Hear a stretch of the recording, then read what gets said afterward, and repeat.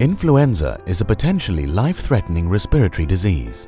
When a new influenza virus emerges, it can lead to a pandemic. WHO coordinates a network of public health laboratories known as GISRS or GISRS that identifies new influenza viruses and monitors the evolution of existing ones. GISRS regularly provides detailed information, analyses and materials to manufacturers that make vaccines, antivirals and diagnostics. In 2011, all WHO member countries adopted the Pandemic Influenza Preparedness PIP framework. The framework aims to improve the timely sharing of viruses with GISRS and provide more equitable access to vaccines and other benefits.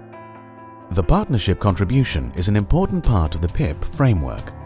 It is an annual cash contribution to WHO by manufacturers who use GISRS. The funds are used by WHO to finance projects in countries where pandemic preparedness is weak. Projects include, for example, strengthening laboratories and surveillance.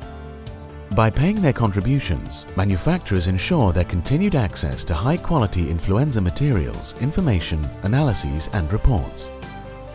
Every year, WHO sends manufacturers a questionnaire to determine if they are contributors Manufacturers identified as contributors are sent a band selection form that allows WHO to calculate individual contributions using a mathematical formula. This formula was developed by WHO in collaboration with industry.